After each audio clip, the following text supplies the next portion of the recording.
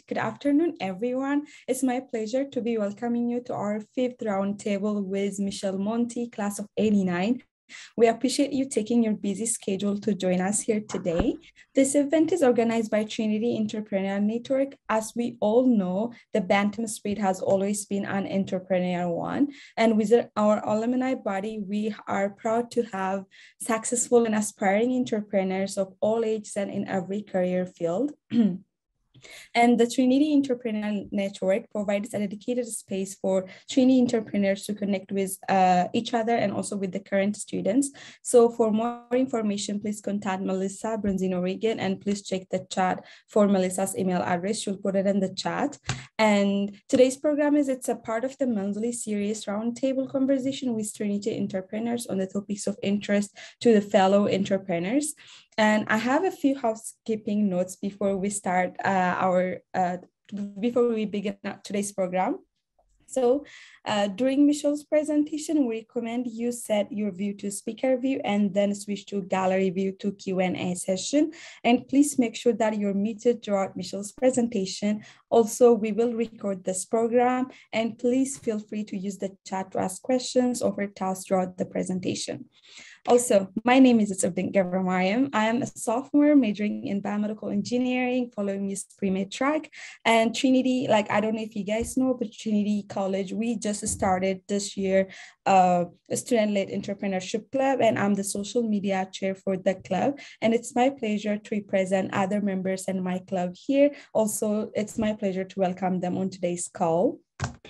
And we would also like to, uh, we'd also like you to complete your prayer, your profile on the Bantam Career Network. It's like the Bantam Career Network is like LinkedIn, but it's only open to the members of Trinity community. And it's a great way for all students and alumni to connect with each other. So uh, the Trinity Entrepreneur Network um, created the BCN, which is the Bantam Career Network, specifically for alumni and students, especially who are interested in entrepreneurship. This, uh, this group provides a dedicated space to allow students and alumni to pose questions, seek advice, and to seek advice from each other. So we hope you complete your profile on the Bantam Career Network to join the group specifically created to provide space for alumni and students. And before we start, I'm gonna announce our upcoming events by organized by Trinity Entrepreneurial Network.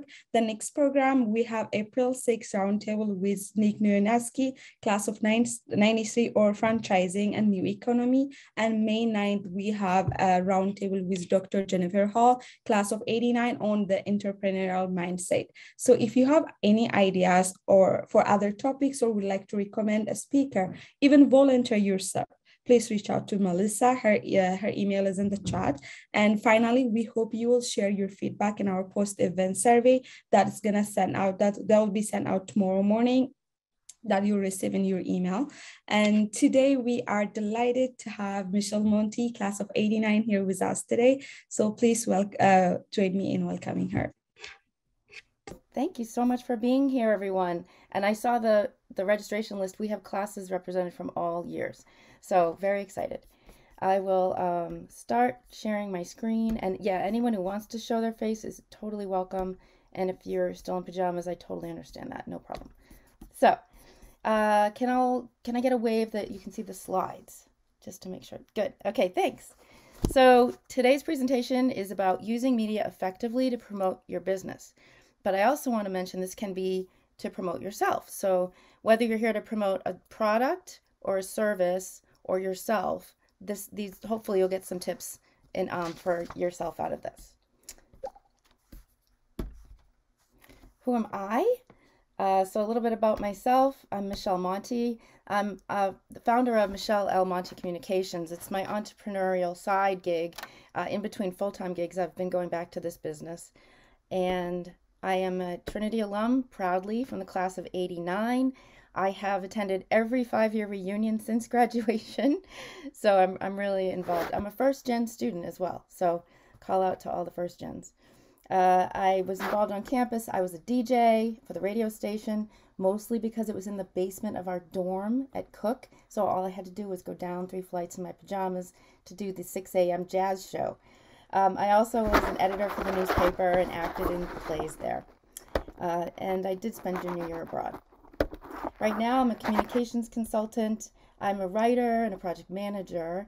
Uh, I did a story a couple of years ago for Trinity called The Legacy That Can't Be Squashed, and they featured it on the homepage of the website. So if you want to check that out. And then currently, I'm working at um, Brown University for as a freelancer.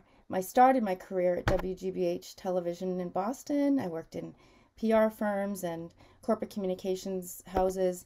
And then recently, my clients include Harvard Business School, Brown University, Good Measures, which is a healthcare company, and a few others. And I'm going to refer to these clients uh, without naming them in this presentation to give you examples of the work that I did and how you can apply some of the tips.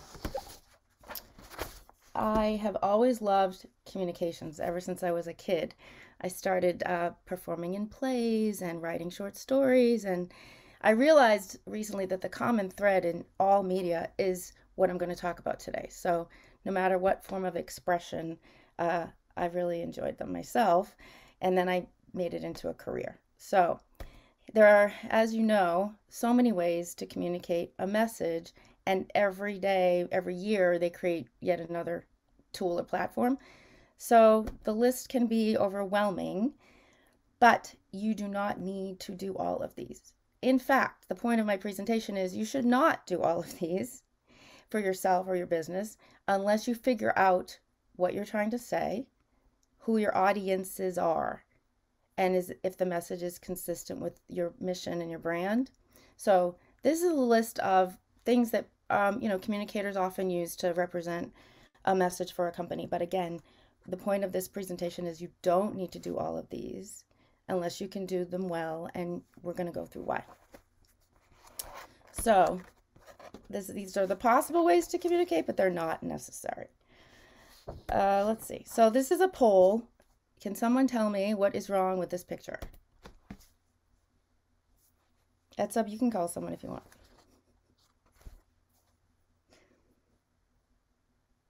You have to unmute too. uh, Rebecca can go. Did you want to call uh Becky? Oh, cart leading the horse. That's right. So the cart is before the horse and you know, maybe the maybe the horse can nudge this cart along or whatever. He might get a few inches or feet, but the guy might topple over. This isn't going to work. So there there are better ways to do this. So let's talk about how. Uh, so in creating media, my point is do not attach your horse until you have the right cart. So these are some steps in order to um, talk about before you do anything. First of all, you do need to be clear on your brand and your intent. So whether you're representing a nonprofit or a for-profit, a product, if you make widgets, if you make software, if you are a service provider, an insurance agent, whatever you are, you really have to be clear on the brand and your intent. It has to be almost like in your core. Like if you can just read everything about it and know everything about it so that you can speak about it well. Next, you need to figure out your ideal audiences, plural. For any brand, there is not just one audience. There's um, all different followers, users, they all have different needs and wants from you. So you need to think about each of the people in your audience almost like imaginary characters that represent your different de demographics. So, you know, one audience member might be of a certain age from a certain part of the country or world, and then there's a different kind of user and follower. They consume media differently. As we know, there's generational gaps. Some people like to text, some people like to talk, some people like to type. So there's all different ways people use uh, media, and you have to understand that when before you give them any of yours. Analyze the competition. Who are your comp competitors and follow them on social and see their voice. I've done a lot of social media like EdSub, so I will be really um, anchoring this presentation on the social aspect of media, but a lot of people use that as well personally.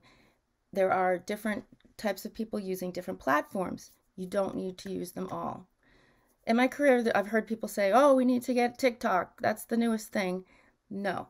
Whenever a stakeholder comes to you with the output communications platform that they're suggesting, you need to pause and say, let's first figure out why we want that and what we're trying to say, and then see if it's right for us. It's the hardest thing, I think, in communications because people see the trends and they want to get on board, but that's really important. So, with the competitor piece, I would also watch your competitors in your industries and not in your industries. There are, you know, if there's brands you like as a just a shopper, follow those brands. What do you see that they're doing that's creative? What ideas can you steal from them? Uh, we often steal ideas, tweak them to make them our own, and so there's nothing wrong with that.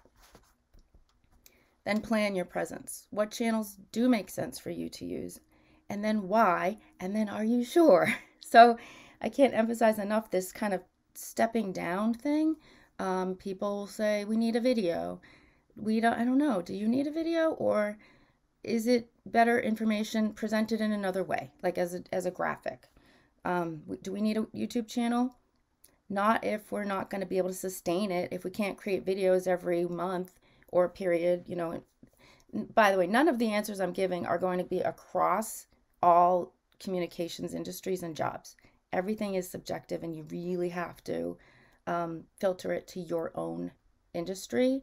So I would definitely recommend getting a pen and paper out because these tips really are going to require you to go do some research after this presentation. And then strategize. What can you do yourself? What do you need to delegate? Um, people often think maybe my teenager can manage my social because they use it. Mm, maybe not. Um, communications professionals are really good at knowing best practices for each tool. So it may be tempting to just use someone because they've done it, but that's not really the best way. So we'll get into some ways you can do things yourself or maybe some roles you can hire out. Does anyone have any questions yet at this point? Happy to stop so this doesn't become just a monologue. All right, I'm going to keep going. I'm going to give you an example using this chart of a project I've done and how I used these five steps. So I one of my clients was a disease management firm, which means um, a healthcare company that focused on a certain um, illness, which happened to be diabetes. So the first step was for me to get clear on their brand and their intent. So their goal was to educate patients with diabetes and empowering them to use food as medicine. So that's a quick phrase, but I really needed to read more about the industry how other companies address diabetes and, and things like that so that I could really be clear on this particular brand and their mission. The next step was to figure out their audiences, again, plural. Um, one of their audience demographic was an older generation that had diabetes that lived in Kentucky, the state of Kentucky in the US, and they had an uh, average, the population had an eighth grade reading level. So no, that's really important to understand because then all of the materials I produced needed to be um, digestible to that population. So this is a tip that people in marketing will tell you about using personas. So you can actually imagine a person that's in this audience group. I literally gave her a name, a picture. You can just imagine what this person could be like. And then when you create the communications piece, you're literally talking to her and that's a good way to test is this is this language uh, you know going to be digestible to them? Do they like this? Is this going to work? Then the next step was to ask about this this company's competitors. Their competitors were noom and weight watchers. So i would look into what noom and weight watchers does and then make sure to differentiate this brand from those. Presence. This client happened to use twitter and uh, facebook they used Twitter for their healthcare clients, they used Facebook for their members, and they used LinkedIn for their business partners. So, really important, right? Each channel has different types of audiences. And you all probably know Twitter's better for like the text, although there's more photos now. LinkedIn is definitely text and article heavy. Facebook is still a lot of photos. They change. There's no one size fits all to this thing, but knowing the platforms average use, type of use, type of content is really important. And that's what I did for this client. And then the last step was to strategize how to, what content we could create ourselves and what we needed to farm out. If it's a really savvy, sharp video that you need to represent the brand, you might need to hire a videographer. If it's sort of like testimonial casual, maybe we can produce the video on our phones. So you need to strategize the content and then the platform after that. Here are three rules in these slides um, that I like to say. The first one is it's about them, not you. Them is your audiences. So you may want to have TikTok because it's cool. You may want to have YouTube because you've seen other people do it, but it's not about you and what you want. It's about your audiences, what they want. And you have to, every time you do something, remind yourself of that. So it's really hard. You can have something you think is super creative or looks really cool or has like a great graphic. But you have to check in, put a giant post-it above your computer and say, does this work for them? Not not just because I want to do it. And as I mentioned before, if your your team, your stakeholders, you know, they say, "Well, we want this thing." It's really the time to put the brakes on and say, "Well, can we have a conversation about that?" if we can't do it well or if it's not appropriate for audiences, we're going to waste time and money. So let's check in and talk about if we're doing it for them, not ourselves. So remember, your audiences are kind of like you. They're like us when they shop or they're waiting for a service. They're thinking like we are, we, the shoppers, are thinking, like, what's in this for me? I don't care that you have this cool, savvy app. What do I get out of it? So remember to tell yourself to check in yourself on that. The second general rule is the data drives your strategy. So data in this case is either looking at for your social media, it's looking at the platform dashboard and seeing the traffic every month, which posts had the most hits.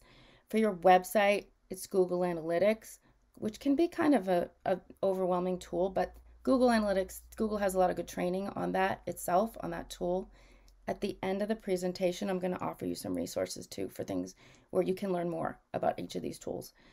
And for videos, the data would be the watch time. How long did people watch the video before they dropped off? You know, um, as well as for all these things, shares and comments. But the data is what's going to drive your decision making. So you need to learn how to read that data. For an example, uh, for a different client, I did a campaign. We had 10 speakers in a video series, and we took those videos and took transcripts from the videos interviews and made them web articles. So this campaign had 10 speakers on video and then printed web articles, their text of that interview. And we noticed one speaker did really well on Twitter, much more than the others. So then we had to say, well, why? Why? We did the same campaign, it was the same half hour interview. We posted it around the same time every Tuesday. What was different? And I found out that that one speaker had thousands of followers on Twitter compared to the other speakers, which had hundreds. So that's important to know. Oh, so there's sometimes there's factors that are obvious, like, oh, this video worked because it had this cool graphic, or you think that's why. There's so many factors that you really have to question why you think something worked, but look for the data to back it up. Um, in another example, one of the speakers in this campaign did better on the web articles, and their videos got no hits or very, very quick drop offs. Someone would start watching and after 20 seconds drop off. Why? Well, we analyzed it, so you really have to step back and think why. Sometimes the data won't give you the answer itself. Why was because her content was really tech heavy, and we figured out she spoke really quickly, as I tend to do here. She spoke really quickly and we thought, you know, this content is so techy that people are, I think, having a better time on the web article version because they can slow down and read and look for definitions on Google of her content. Where the video was her talking and they couldn't exactly absorb the message.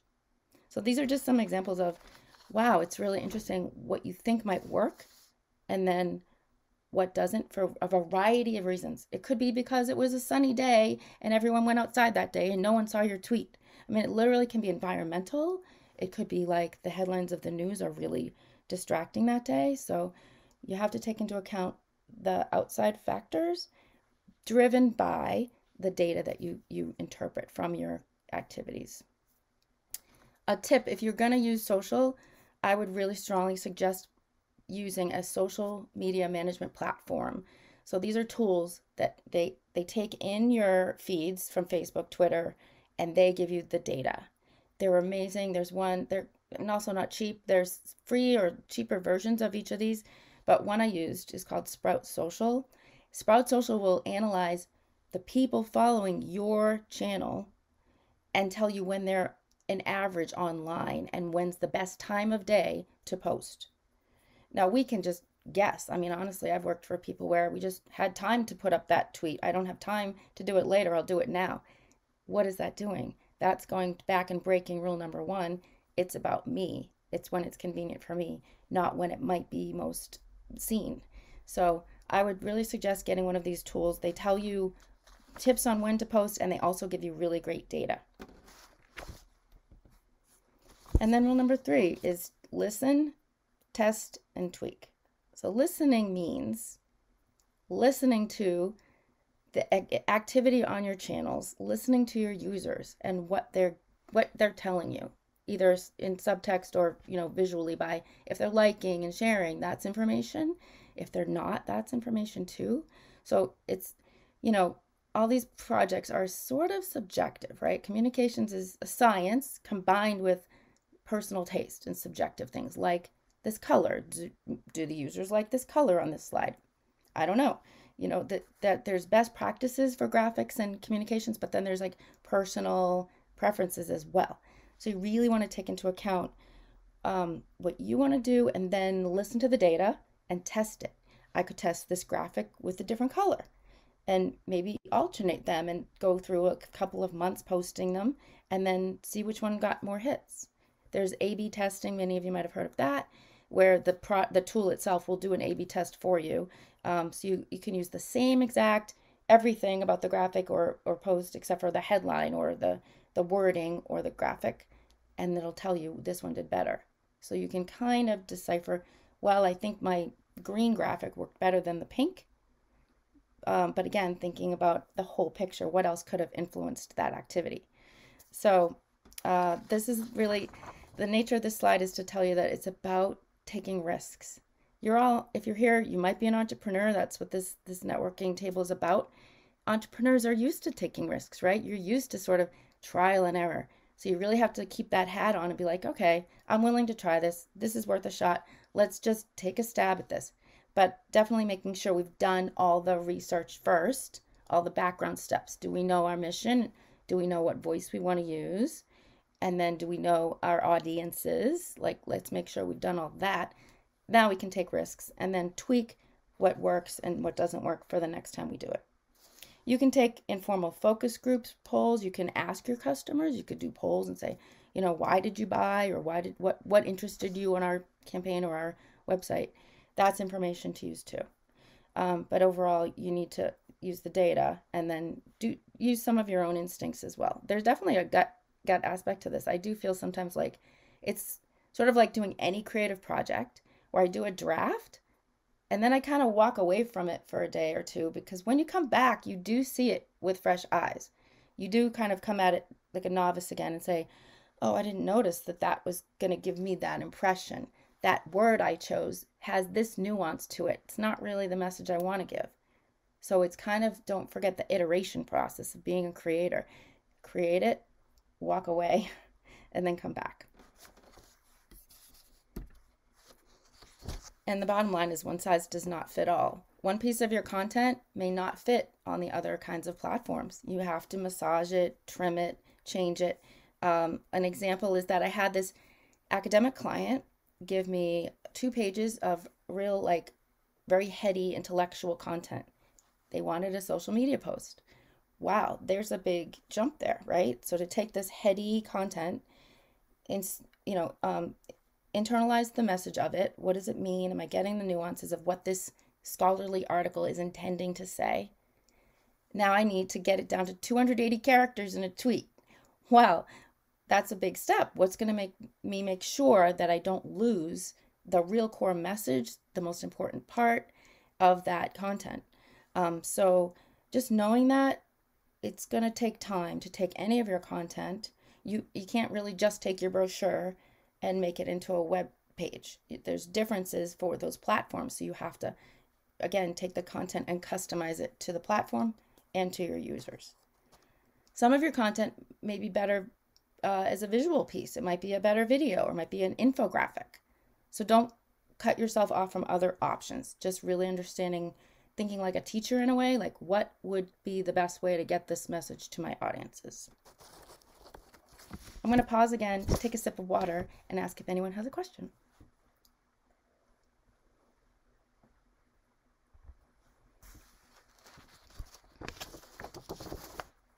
All right, moving on. This is an overview of the steps to follow when you're creating content to promote either your business, your product or service, or yourself. First step is to research. I'm going to say it so many times. That's what you have to do. Research your brand, your organization, your competitors, your audiences, your mission, and what you're trying to say, and how others have said it. The second step is plan. What channels do you want to use? What makes sense for your business or service to use? What makes sense?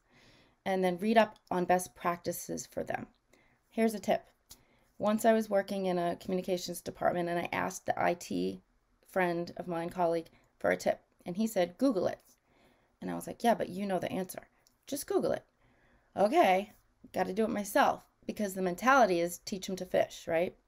So I'm going to tell you this too everything is on Google. You can, or whatever, you know, search engine you use, the answers are there. You really do have to sit down with a cup of tea and spend time, accept the fact that you're going to have to spend time looking into things. So, Google any question, literally, best social media post for insurance companies, um, most interesting campaign, blah, blah, blah. Like, whatever you're, you're looking for. Um, how do I, how am I, how can I be successful on Instagram? You know, um, what are the best pieces of content on LinkedIn? What's the best way to make a website? What's the cheapest way to make an effective website? Whatever you need to know, look into it. Um, because again, this presentation is giving you an overhead view. And unfortunately, the answer is you all have to roll up your sleeves and do this legwork yourself and do some research on these questions. So, so planning that um, and then delegating. What can you do yourself? like being really honest what can you manage successfully yourself if you're you know if you can commit to the social media management again those tools are really helpful those management tools um, and again i have a slide to help you get some resources. Then you can do it. If you can write content but do you need someone else to write it? Do you need someone to be more objective and to produce the media for you? Or do you not have the time or the expertise? There are websites that have freelancers. I think um, there's a bunch, again, Google that question. Where can I find a freelancer to manage my PR for my business? There's freelancers out there, they can do hourly or project based um, estimates for you. Maybe it's time to delegate that. And you know, try it for three months. I've had a client last summer that just, we did, we worked for two months together. I analyzed their social media activity on a spreadsheet I looked at their competitors. I put all their competitors' handles into the spreadsheet Facebook, Twitter, whatever their competitors' handles were. And then I taught them how to create effective content. After two months, they were done with me, and now they're self sufficient. And you know, none of it may be award winning. It might not be, but it might be enough that they what they need. So you can hire someone for a small period of time to manage something and teach you how to do it. But you have to be reasonable. If you're an entrepreneur and you're already swamped, can you do it? This client I'm thinking of, they actually had one of their team members, staff people, say, I can do that for us. I can take that role on. And she now manages the social. So you can just um, take a look at what you can handle or what you need to delegate.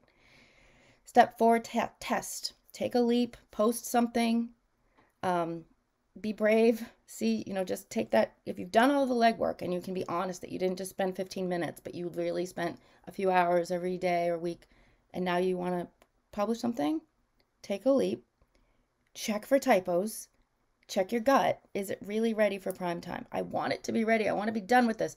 Well, okay, let's look again though. Is the comma in the right place? Is the word spelled correctly? Literally, because you can get so in the weeds that you might forget to proof, proof, proof. So show it to someone else and ask for their feedback. But then test it. Just send it out.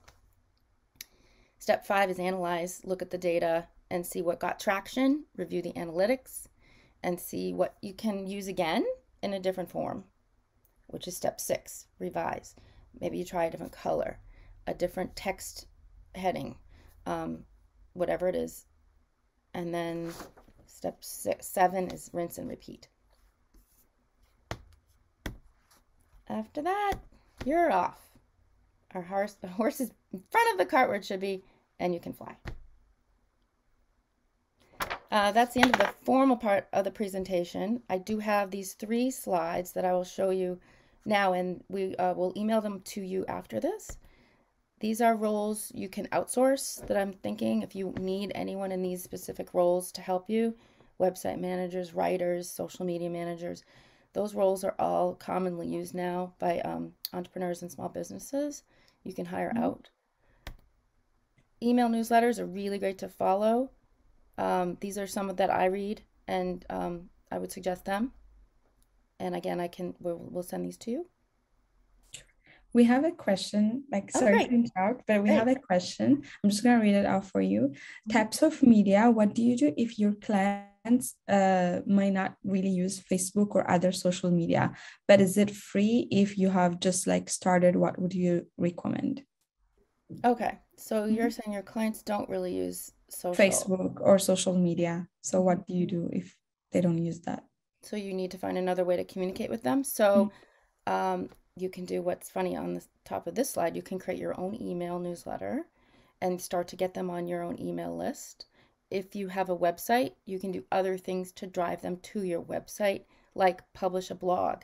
You can make a separate tab on your website called blog, and then you can create complementary content to your field. So whatever field you're in, Elizabeth, if it's, you know, whatever industry you're in, you start to think of articles that are like related. For example, I was writing ghostwriting for a real estate firm.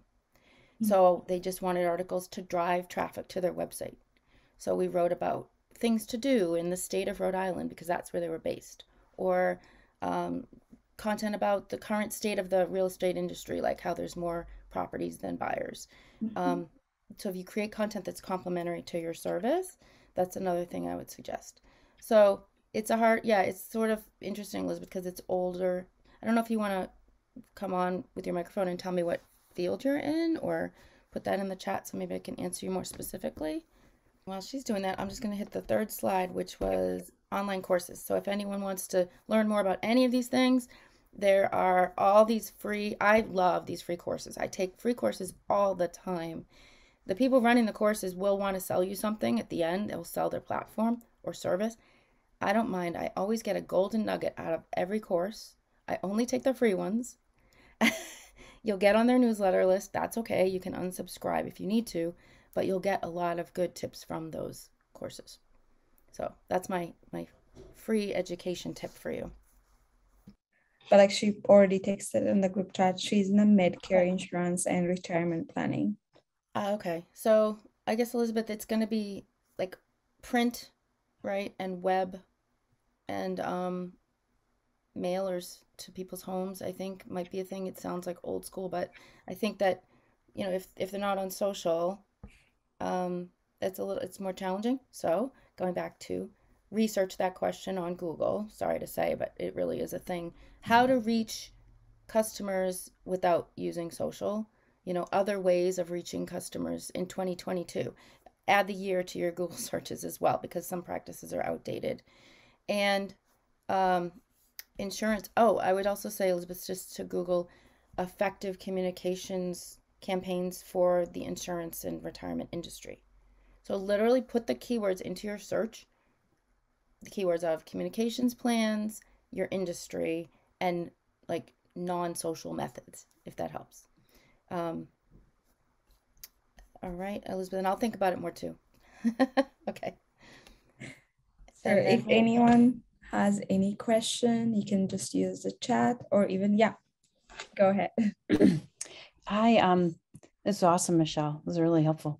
Um, so I'm working on a project with a nonprofit and we're wanting to renovate this historic building. It's an old jail. And you know, it really helped me a lot when you're saying who your audience is because people are interested in history and historic things might be an older generation that aren't on social media, but we're trying to draw in a younger group to make I mean, it is interesting to some of the younger people. So we are going to use the social media and such.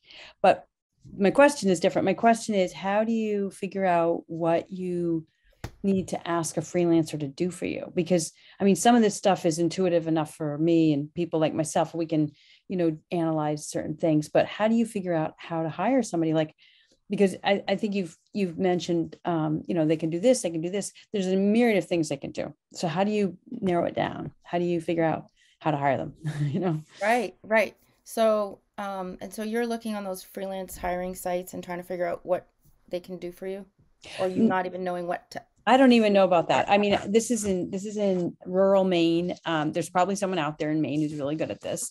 But like, how do we find that person who could do the freelance work for us? That's what I'm wondering. Yeah. Oh yeah. So, um, so there are those sites that are called like you know freelance project sites, and those in there there's a database of freelancers that will show their project portfolios.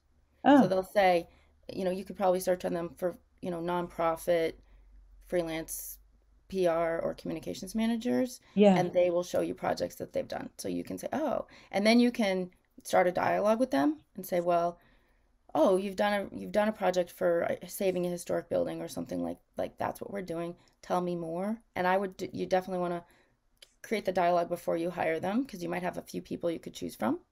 And then just say, can you show me examples of what you've done and ask about the success too. So say, hey, uh, and this might be a way to actually steal ideas, is really just say, what did you do that worked? Can you give me ideas that worked? And show, you know, tell us how you saved the bill, you know, how your campaign helped save the building, which is our mission. So I would, um, it's kind of, it's like interviewing them, I guess, and really just saying, can you show me, tell me ideas? What other projects are similar to what we're doing?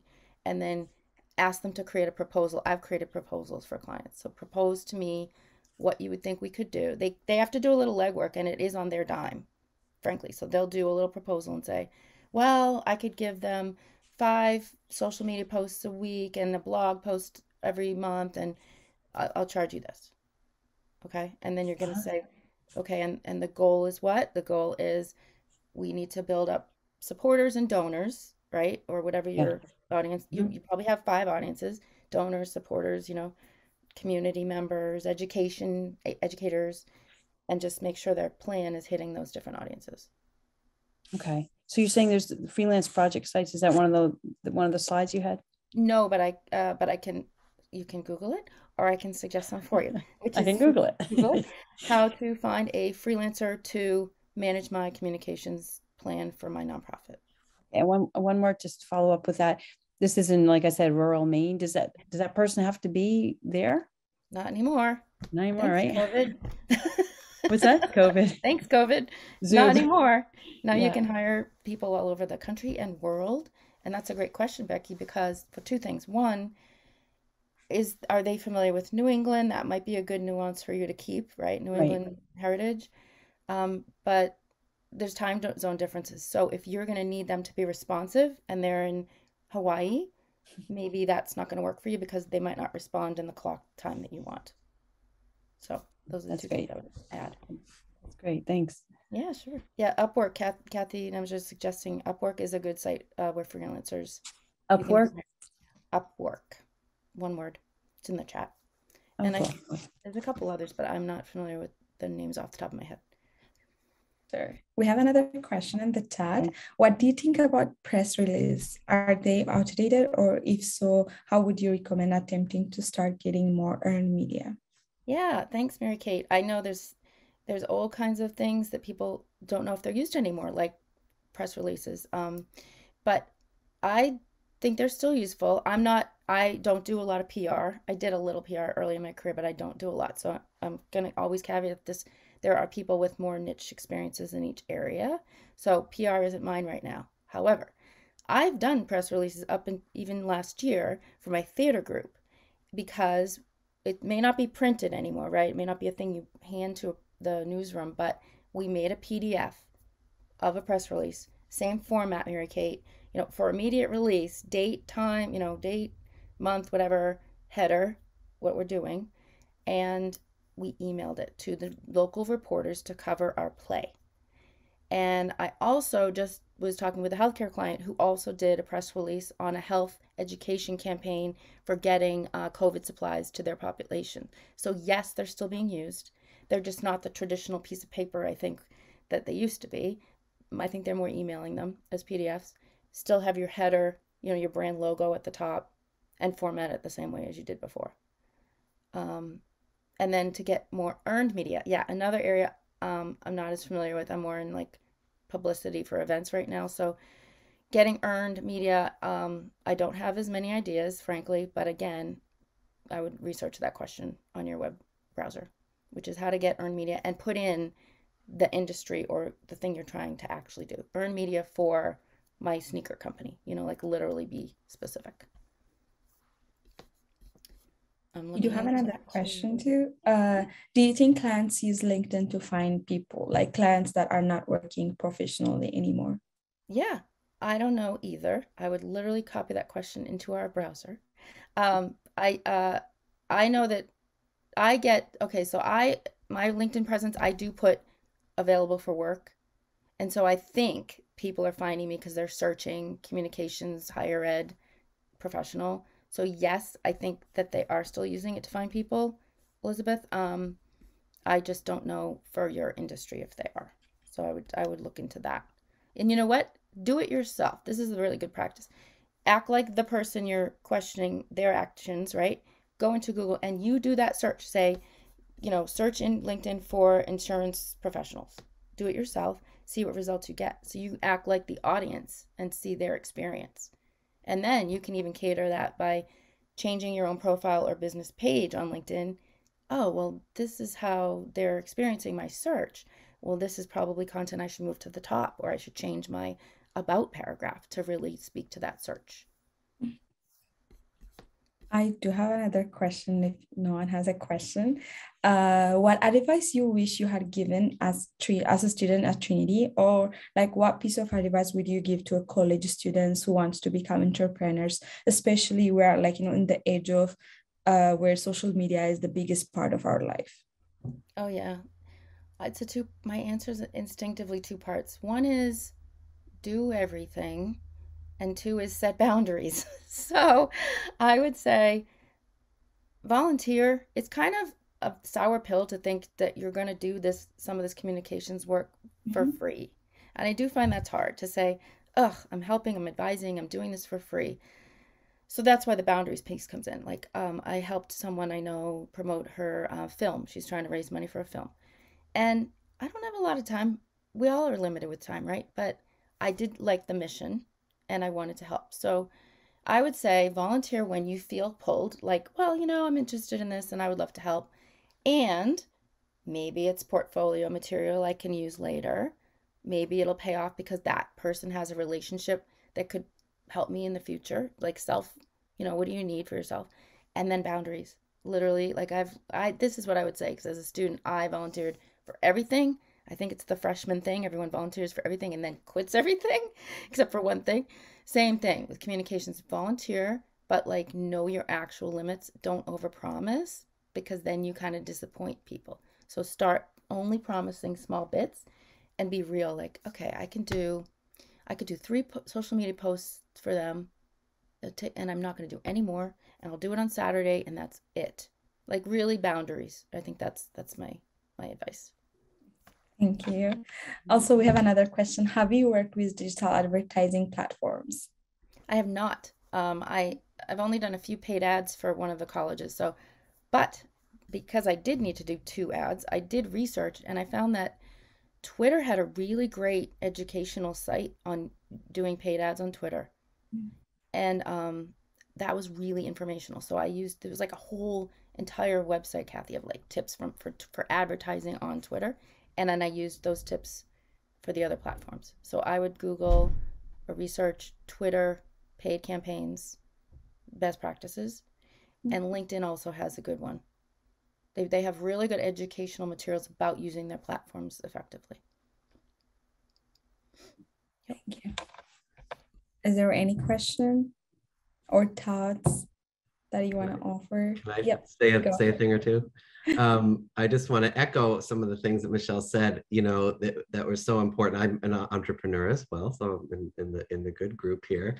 Uh, I have I have an educational consulting practice, and I work with uh, my background's theater uh, as well, and um, I worked at NYU in the drama department at Tisch as their director of admissions for about 12 years. Along the way, I became an educational consultant on the side, and so now I have I've, I've left NYU and I'm doing this full time um, but I'm still a sole practitioner. I'm still just me doing everything to run this business. So there's the there's the consulting part, and then there's all the business stuff. And I built the website, and and we have social media. But that's that's the point I wanted to mention because we were talking so much about it. You know, the, a distinction that I had to learn to make was to say, you know, I have the I have the ability to do this, like social media. I just don't have the capacity to do it. That's that when I had that moment, I'm like, yeah, because I was putting things off because I'm like, why do I have to give someone else? Why do I have to bring someone else to do social media? I can totally do LinkedIn and Facebook and Instagram. I can do that. I can make posts. I can put them into Hootsuite. That's on your list, Hootsuite, and it'll time them all to go out. I could actually do that, but I mean, so far nothing's happening. It's not happening. So I did, and I'm screaming. I'm sorry, I'm screaming at the at the mic. I always do that. That's the theater but, in you.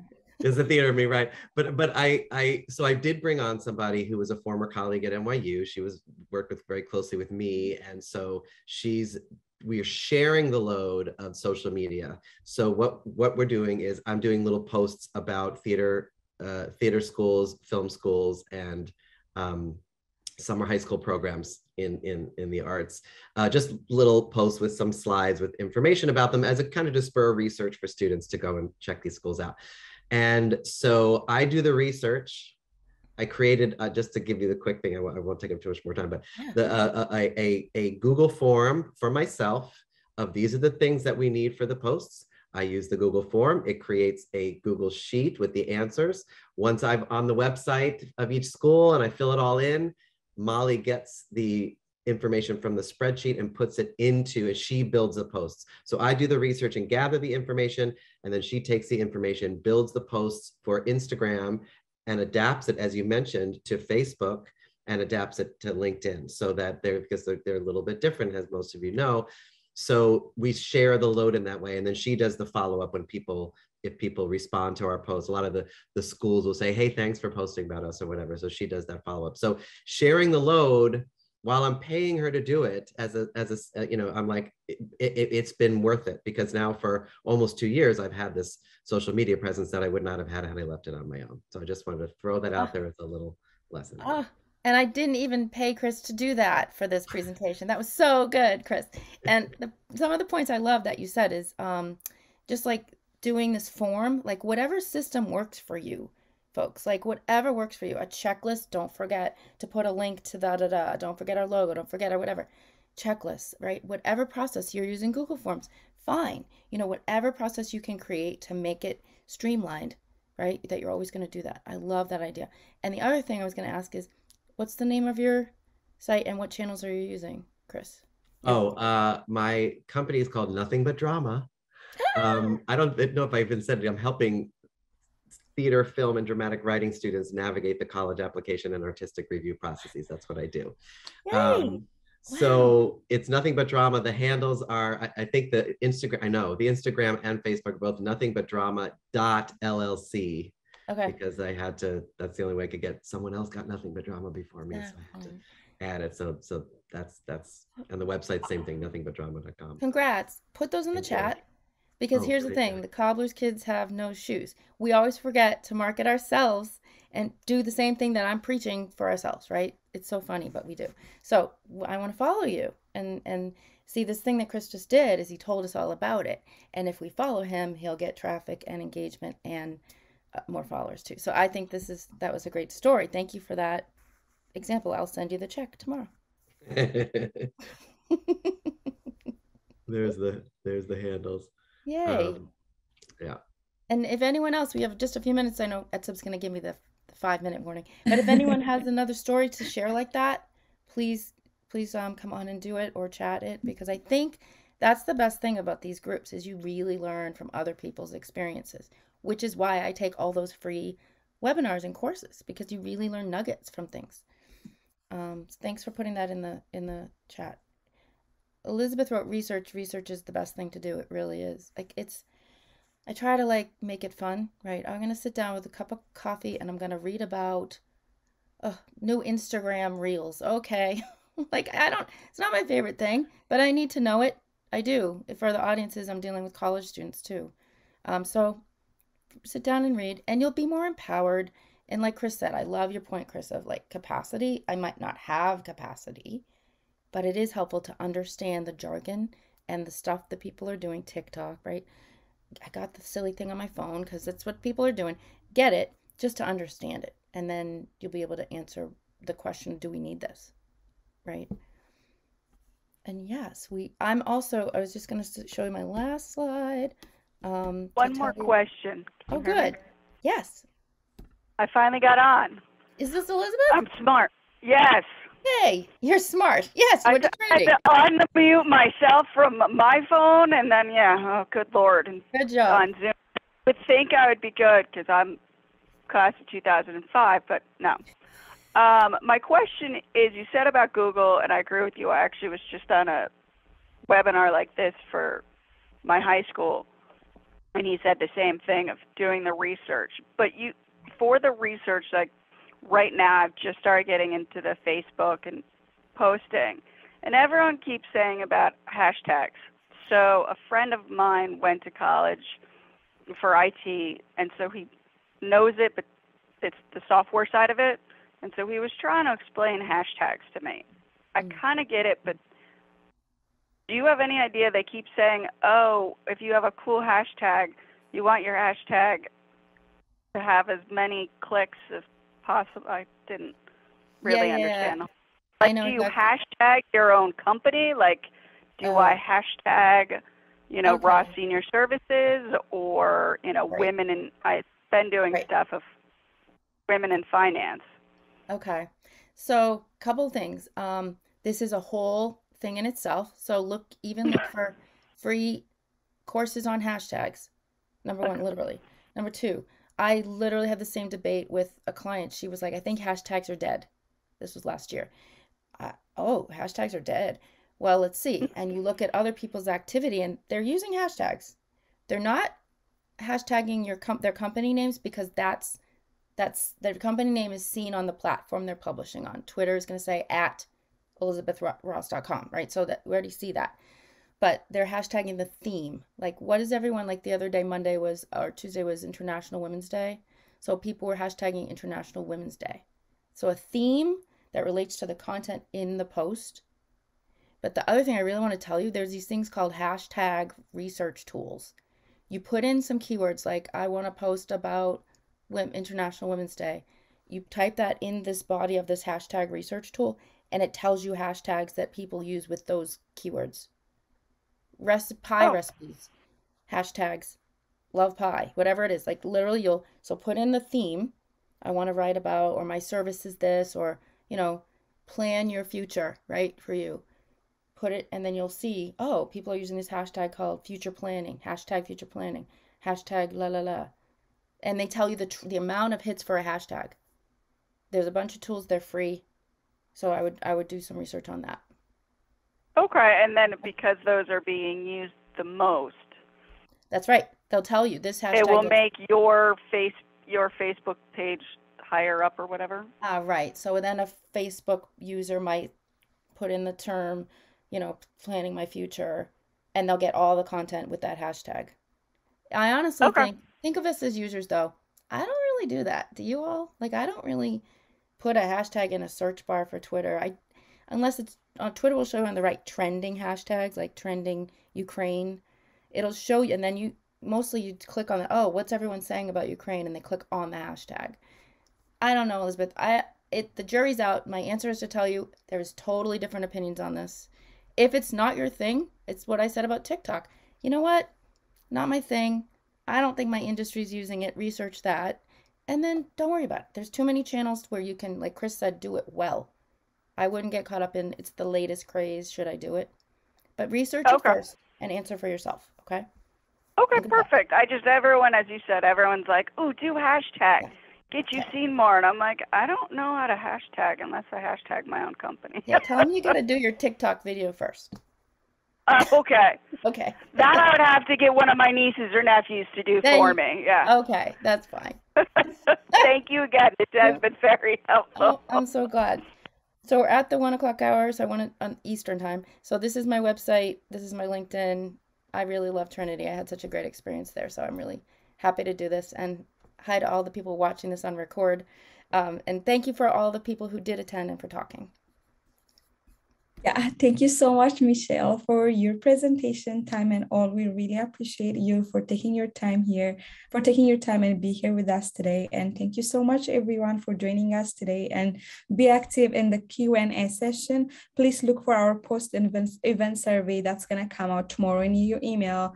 And also, please join the Trinity uh, Entrepreneurial Network, complete your profile in the Bantam Career Network, and follow up with Melissa if you have any question. And thank you so much. Thank you, Etsa. a Thank you, day. Melissa. And thank you, my fellow Bantams.